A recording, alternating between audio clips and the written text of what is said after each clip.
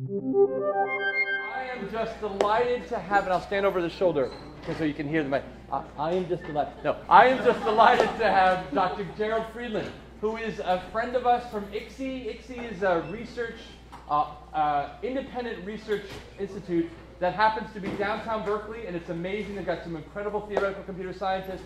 Folks from all over the country are here as visitors and work with ICSI, and Gerald is working as a researcher there. He's an expert in privacy and the internet, and it's what a perfect uh, uh, connection that we've made between what we need for our class is a discussion about social implications of computing and his research. So I'm glad that he found me, and I'm glad that we can make this connection. And this is the first time he's come to give a guest lecture in CS10, so let's give Gerald a hand. CS10, come on. So yeah, thank you for the introduction. Um, I'm really happy to give that lecture. It's really coming from my heart a little bit. So this is a lecture I'm, I basically created out of a research talk that I'm giving, you know, it's, it's, I have given it to, it's several research places. So it's a little researchy. Bear with me if there's a couple of details you might not understand. I hope you still get to the right stuff on. The, the, front, the front one has to be turned up. So I turned it off when we were still talking. Bear with me. Bear with me if, if there's some details that don't really do me about. The other thing I wanted to say after that awesome introduction, I'm not doing anything anymore, is if you have any question like also, or you want to see some more, uh, this is my email address. Um, feel free to send me email anytime, like after the lecture, during the lecture, probably not, but after the lecture and you know whenever. Uh, don't hesitate. Maybe in a couple of years when you start doing work like this, just send me email. Don't worry. Um, I will respond. Okay, so let's let's go ahead and actually uh, let's start with a question. Um, so basically, I have a couple of survey questions, and we're going to see uh, what comes out there. So on average, uh, how often are you posting images and videos on the internet? That means Facebook, Flickr, Craigslist, could be anything, doesn't have to be just social media, but basically, how often do you post uh, media on internet sites? And so basically, click A or one, uh, yes, perfect. Oh, uh, okay. So it's still a little bit developing, but it looks like B is the most, it's 40, half, basically for 51. Well, let's wait a little couple more seconds. percentage. Oh, perfect. So it looks like the winner is B with like 53%, about once a month or less, not so often. Um, then A is never, and then we have C almost the same. Oh no, no, C just basically got the second rank. So C has the second rank, 20%. A has the, the, the third rank, and then D and then E. So only about 2% say one once a day, but at least 14% say about once a day, and C is 23%. That basically means, uh, except for, let's see, a little on the fly, so basically something like 35% are doing it about once a week or more. So one third of the audience. Am I right? Okay. Okay, so then uh, that's that's very interesting. Let's see the changes there. Anyway, so um, there's one. So there's several several ways I could introduce the topic and tell you what I'm going to talk about today. But sometimes it's really funny when I watch TV and somebody does it even better than I could ever do it. And basically. Uh, one of the ways I'm keeping the public's eye on me right now is social media. I am all over Facebook, MySpace, Foursquare, Reddit, LinkedIn, Google Buzz, LiveJournal, Blippy, Twitter, Tumblr, Flickr, Muffler, Flumpler, and let's say Gargler. You see, social media is the only way to reach young people these days without giving your abs a nickname. And evidently, nobody liked the laundry sack.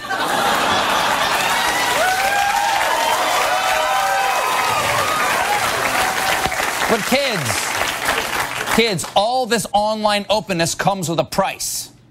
I know people who've been let go of their job because they shared a little bit too much about what they were doing online. If we're hiring an intern or, or a new employee, the first thing you do nowadays is go online and look at yeah. their Facebook page. You know, the pictures of you shooting back tequila shooters, pole dancing, not information that your employer wants to see. Especially if you're working for your dad.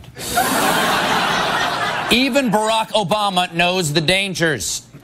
I want everybody here to be careful about what you post on Facebook. And the president has been very careful.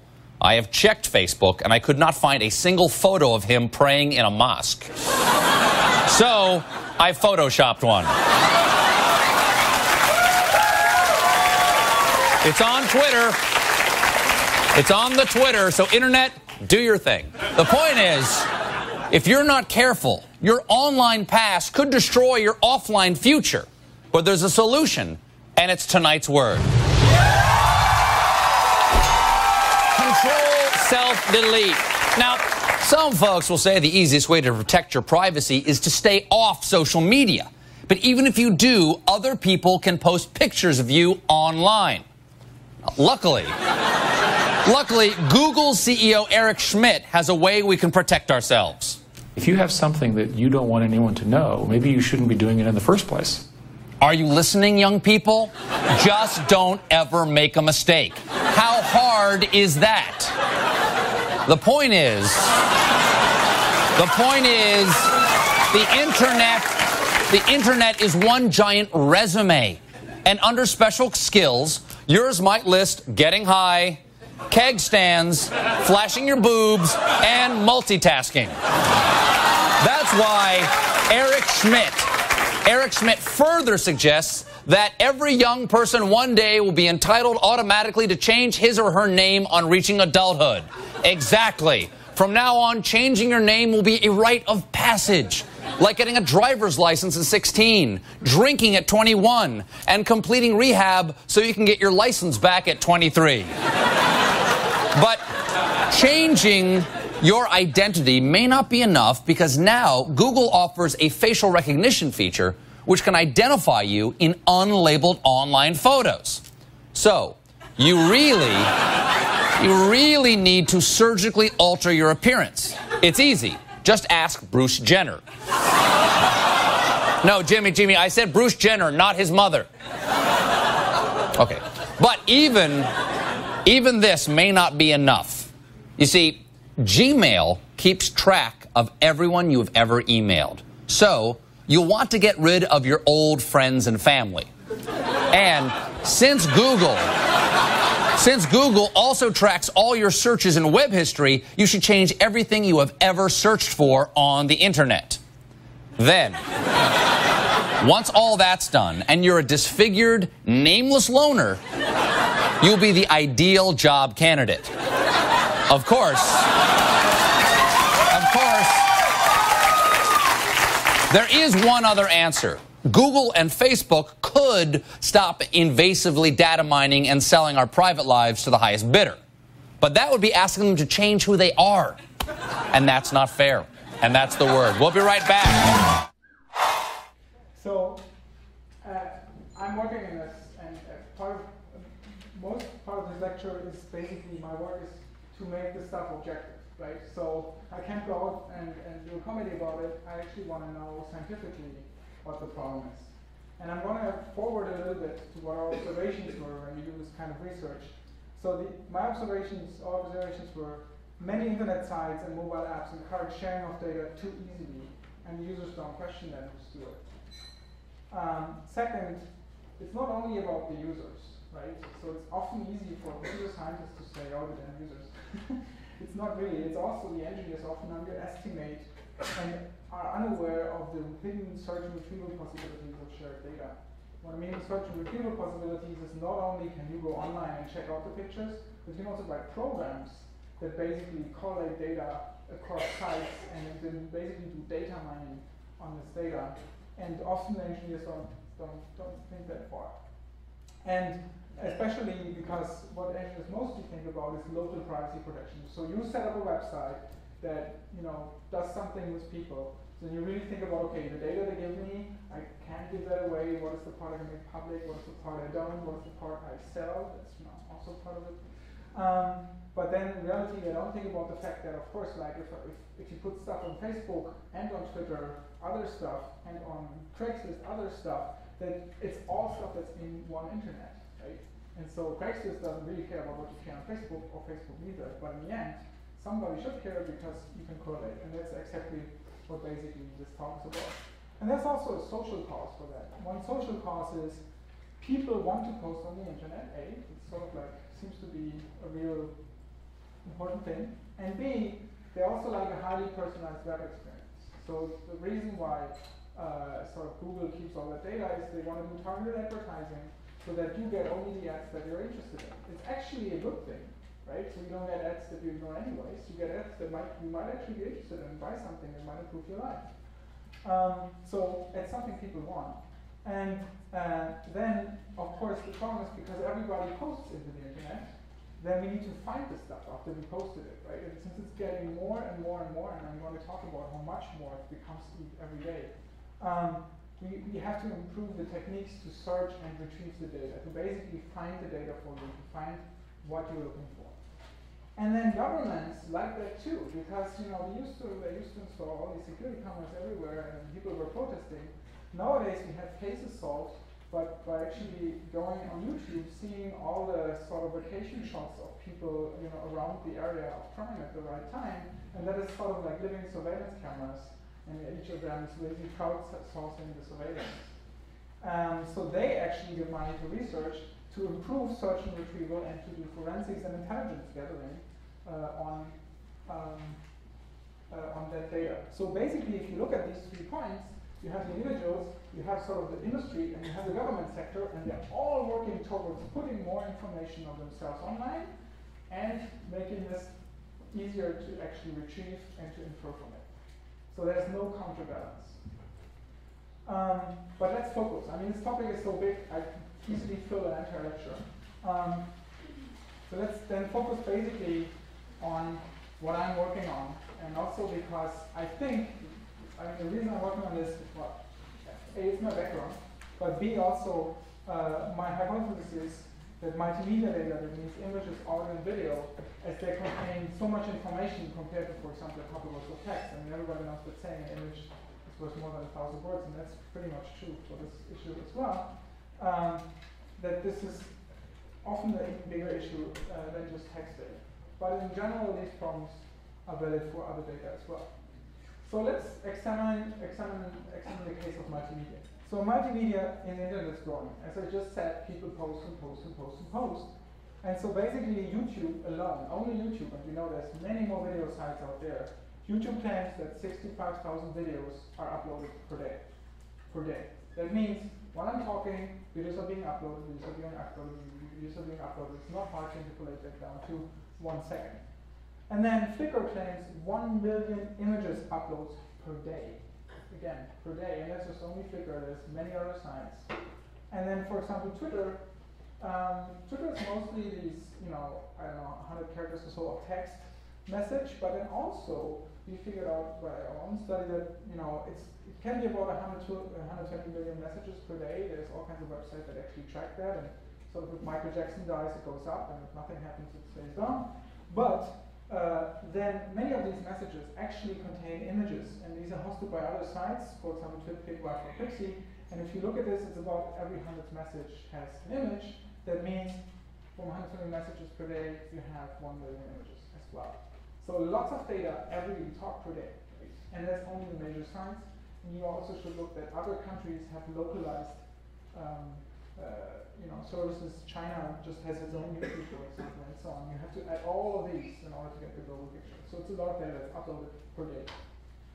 Um, that creates a big computer science problem, right? So the computer science problem here is more multimedia data means there's a higher demand for retrieval and organizational tools. As I said before, people want to find the stuff they're uploading. And that means we have to create techniques that allow image, video, audio retrieval. Now, um, the problem with that is that this is really hard. Um, it's not a solved problem. We've worked on this for decades. We, we have improvements and we should continue working on it. However, it's not that you can just do a face recognition and find all your pictures of yourself even using Google. Even Google can't do it at this point. So it's a hard problem. That means, what do we do as industry? Because we have this pressing problem. People still upload every day, every day, every day. Well, they create what's called a workaround. If you don't have a solution, you try to put, put something together to work around the problem. So let's talk about some of those workarounds. One workaround is uh, manual tagging. I think everybody will know this. Uh, so basically, in Facebook, you can say, now they're doing it automatically, they're saying this is a face. And face detection actually works okay. They say this is probably a face, do you agree? And then it's yes, it's a face, and then you basically click on the person who that face belongs to, which then later on enables you to search for all the images that contain this person. Um, however, this is cumbersome, of course. I mean, how many images do you tag? Are you really diligently tagging all your images? Maybe, but in, in reality, with one million, you know, just on Flickr, not everybody will tag them. So the point is, what we need to do is we need to come up with some automatic methods to do some tagging, right? Um, so one method that has been, become really popular is called geotagging. Geotagging is you, you know the GPS satellites are up there. That means you can actually find out by uh, using the GPS signal what are the coordinates of the position on, on the Earth where you're currently standing. So if you take a photo, the cameras pick up that signal and, and put the coordinates in longitude and latitude into the image. The trick here is it's in the image, except it's in what's called metadata of the image. That means it's encoded, but invisibly. You can only extract this programmatically. And there are lots of programs, they're usually called EXIF viewers, because EXIF is actually the name for that part of metadata. So these EXIF viewers, you do a right click, for example, on a browser in Firefox. Uh, if, you, uh, if you install the add-on for the EXIF viewer, and you see something like this. You, you right click and you see, you know, the latitude and longitude of the position. You also see, for example, the name of the camera manufacturer and so on. And originally, this EXIF data was meant for to help image editing because it would put in the lengths, the type of lengths, the lighting conditions, these kind of things. And then it would, would help an image editing program to do the right choices. But now they put this basically the, the, the longitude latitude in, and basically every modern photo camera, every modern video camera, and most of all, all the modern smartphones do this. You can also do it manually. What does why do they do it? Well, because it's awesome. Now I can take all the photos, put them on a map, and then say, okay, Sydney Opera House, right there, let me see how it looks like. And especially, you know, social collaboration using these tools is so awesome. Um, it allows for uh, all kinds of neat things. Um, and especially it also allows personalized services, right? So you can go ahead and say, oh, you visited the Sydney Opera House, you visited the New York Opera House, you probably into operas, right? So I can give you a talk with that. Okay. And how do they do that? Well, there's one thing is sort of the interface you see if you're using a web browser and you're clicking on it. But there's another thing, of course, um, that is called API uh, usually, or sometimes also SDK. It's basically a programmatic interface. That means instead of using the web browser, you can use a program that you wrote yourself to access the data that's available. And so, for example, YouTube provides what's called the Google Data API that allows you to search not using the web browser, but your own program that you create. And these APIs are usually way more powerful than what you can see in the interface. So for example, if you go to YouTube right away, you'll see that on YouTube, you can only search you know, using keywords and maybe some advanced search for categories and so on. But using the programmatic interface, using little Python, we will see that later, you can actually go and say, give me all the videos within a one kilometer radius of that particular point on the Earth. So I can say, give me all the videos from Berkeley, or give me all the videos from San Francisco, or from the US, and so on. That does not work the uh, in the uh, in the interface, uh, the user interface on the browser. It only works if you write your own program. And so using that, we estimated that about 3 million, about 3% of YouTube videos currently have geotags, and about 4.5% of the Flickr uh, images have geotags. And you might say, oh, that's not a problem, that means 97% don't. But that's, that's the interesting thing about the internet. 3% already means 3 million videos, and 4.5% of Flickr means already 180 million images. That's a lot of data. Okay, and you know, I'm not the only one pointing out that there might be some issues with that. Um, there was related work, I don't know if you guys know that's called um, Foursquare. It's a little mobile app where you can log in live and say, I'm here. And then it tells your friends where you are. And actually, it also can tell publicly everybody who runs this Foursquare app where you are. And it was initially meant for dating. So the, the, the, lead idea is you go into a bar and you say, I'm in this bar and I'm a singer and you know, don't you want to meet me? It might be a little lower entry barrier than just actually talking to somebody face to face, at least for some people. the point is, point being that people actually use this extensively, and then uh, this site, pleaserobme.com, was actually saying, well, if you do so, you also tell all the people who potentially break into your house that you're not at home. And also you're revealing like your pattern where you go regularly and so on. So that can be good. People can track you. And so they pointed that out. Um, and um, well, we'll see, you know, how, how bad it is later on. Political question, here's the technical question. Is this really about geotags? And in fact, I will answer the question, no, it's not. So here's the funny thing that's how I got to the problem at all, is we have a little project, you can look that up on the web too, it's called the Berkeley Multimodal Location Estimation Project. And so what this, pro this project is doing is we infer location based on context and context of photos and videos. Basically what this is, is we use the 3% or you know 180, 180 million uh, photos or, or 3 million videos as training data so that retrieval techniques can basically match the data that don't have geotags to the data that have geotags in order to find out for the data that don't have geotags where it's from. And the scary part about this is we, we really did this because we said, you know, faster search, inference, intelligence gathering even without GPS. That's awesome, right? Because all of the positive sides of geotagging. Um, and you know, we actually think we do quite a good job because basically what we can do is about 15%, you see the bar on the, the green bar on the very left shows you the best result, which is 15% of the videos that we try to tag uh, actually get within 10 meter accuracy. That means you have 3% that actually geotag, and we get another 15% location to that. It makes 18% on our pretty accurately geotag. And if you actually look on the very right, so the green, the, the, uh, the green bar, the, one of these uh, bars on the right, you'll see that about 70 to 80% of the videos we get into 100 kilometer radius, which means we can still tell about which city those videos are. And you know, it's awesome. I mean, this is needed for many, for a lot of stuff. For example, Hollywood really likes to find scenes again so that they don't have to redo them. Um, there's all kinds of really good applications for this. However, what we said is, well, what happens if we repeat the YouTube cyber-casing experiment using this technology rather than geotag videos? And this is what we did. So now, the old experiment is on the left, the other experiment is on the right. So basically, the old experiment was we got an initial set of videos, uh, we got a thousand back. So now we only get 170. That's because what we had to do is we basically had, based on keywords, we had to in advance download videos so that um, we get a subset of YouTube because we can't query YouTube using our engine, right? So we have to, you just get a subset and then we work inside that subset.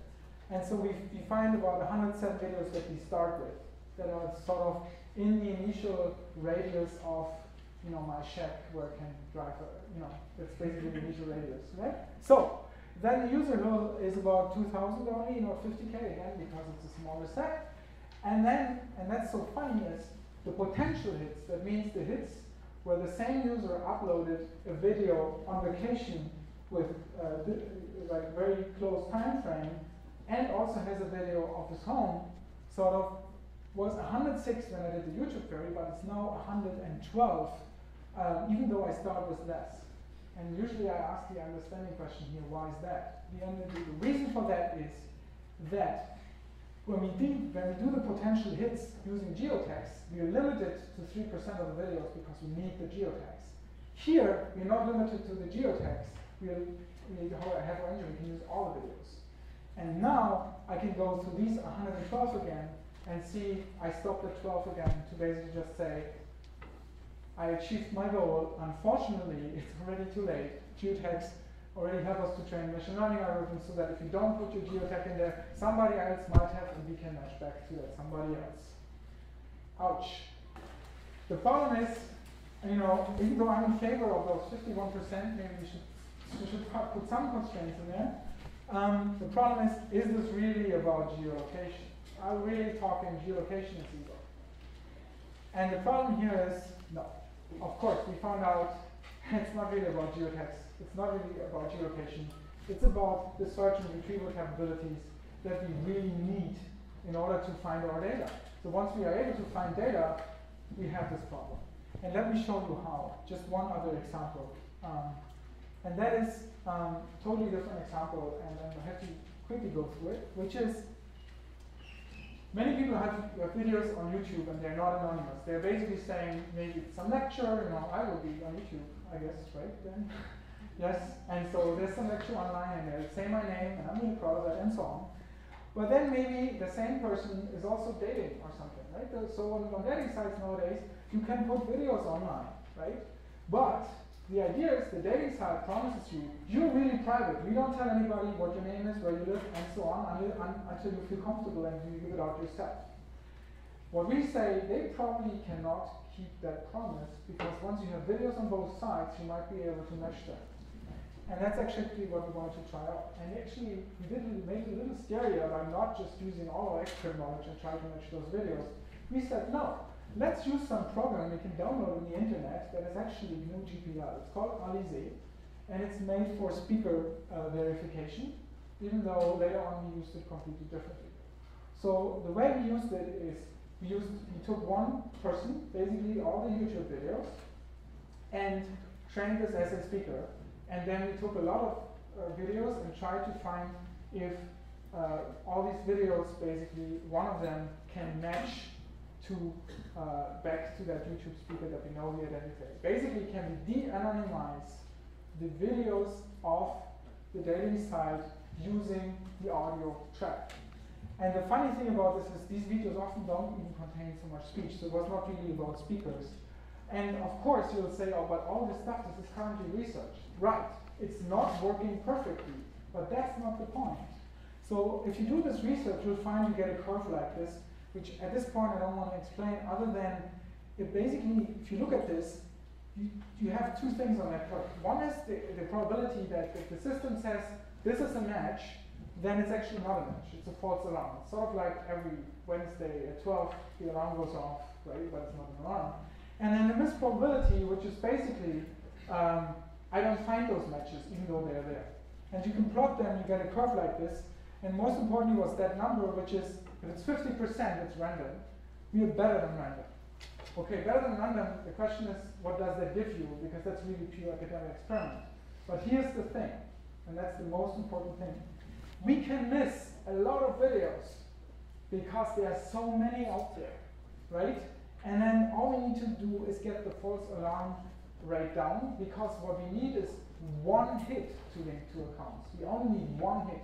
So basically, if the system misses 90% of the internet, but all the hits we're getting are really reliable and we only need one hit, well, then actually we can use the system. And so basically our result is, in the end, on the average, if you have 20 minutes of video on YouTube site, which is easy, just my lectures, more than 20 minutes, and 20 minutes of video on the dating site, or the semi-covered site, then there's a 99.2% chance for one true positive hit, which is all I need.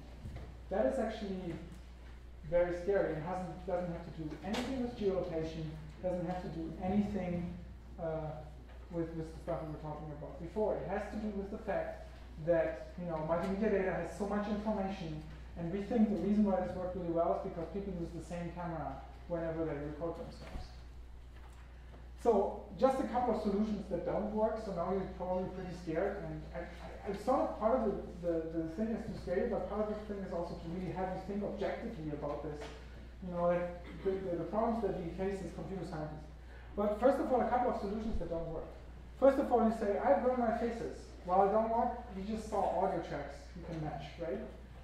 Then I say, oh, I only share with my friends, right? So I don't share any videos or photos with my friends. Um, but then who, who are they sharing it, right? That's the other problem. And then I don't do social networking, uh, but the problem is, and that's the, I think that's one of the biggest problems is, I can do it for you. So, I mean, if you don't have a Facebook profile, nothing holds me back from creating one for you and hurting you in some way. Right? So that's the other problem. On your handout, and it's pretty clear, um, and it's just my personal advice, there could be way more advice. And second, if you need more examples and more discussion, I encourage you to go on this blog. I'm collecting all kinds of examples like the ones that I showed uh, on this blog. And that will hopefully educate you about the possibilities and maybe also about the possibilities of of doing good things with it versus, you know, the negative side of it. Um, thank you very much.